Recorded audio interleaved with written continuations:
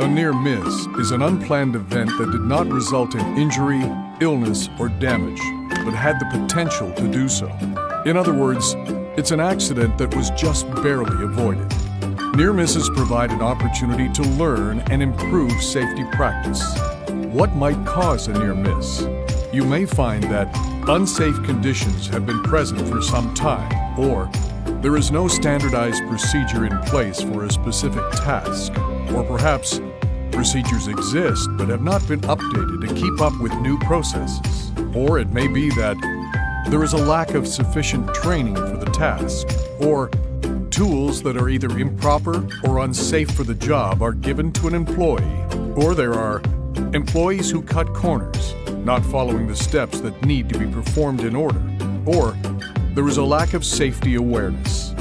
This can include not looking for coworkers in the immediate work area, or not checking a work area for things like pinch points prior to beginning their work. At Bird Construction, we report near misses because they provide valuable lessons. They help us to identify and eradicate the root cause of the near miss incident. Near miss reporting provides a tool to identify workplace hazards, reduces tolerance for risk, and enables us to avoid and prevent future accidents and injuries. Therefore, reporting near misses is crucial to establishing and continuing safe practices within the workplace. Let's take a closer look at near miss reporting. If you're involved in a near miss incident, what should you do? 1. Make sure the scene is secure and implement corrective action immediately if safe to do so. 2. Report it to your supervisor. 3. Fill out a near miss card. 4.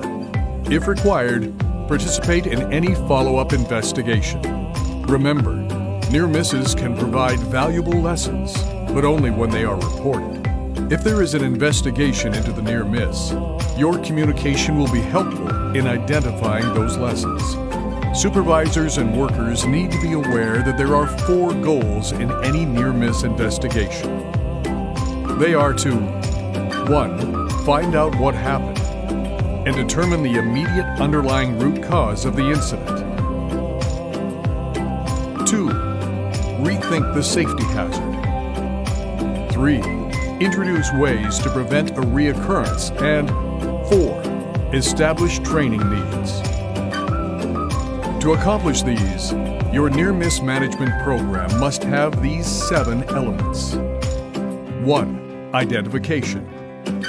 Conduct an investigation as soon as possible following the event. Identify and control safety or health hazards before they cause a more serious incident.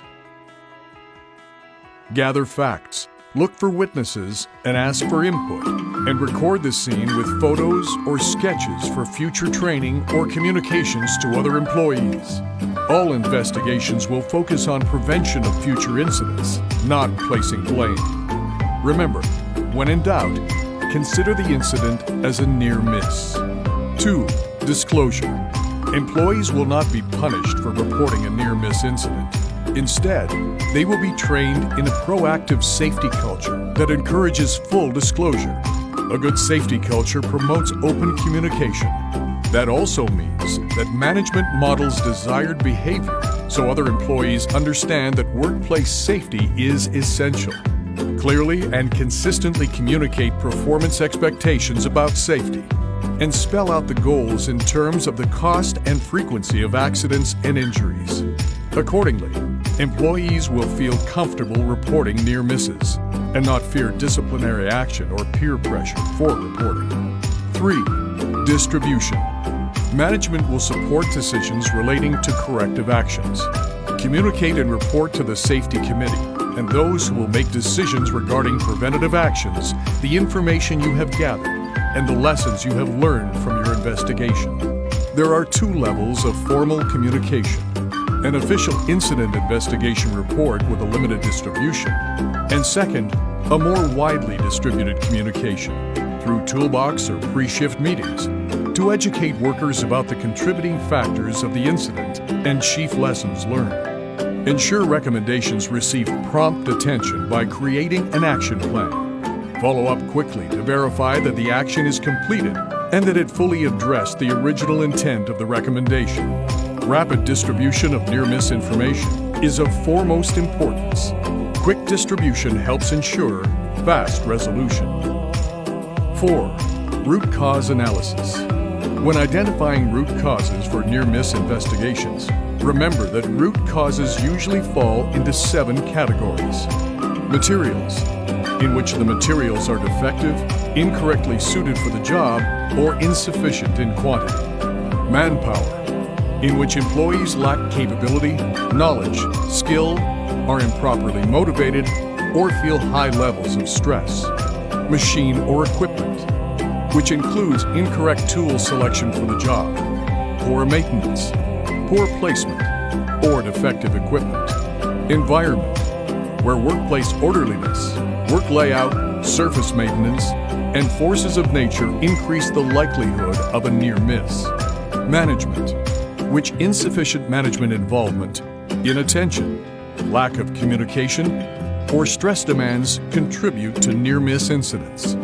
Methods, which includes poor procedures, a discrepancy between practice and written procedures.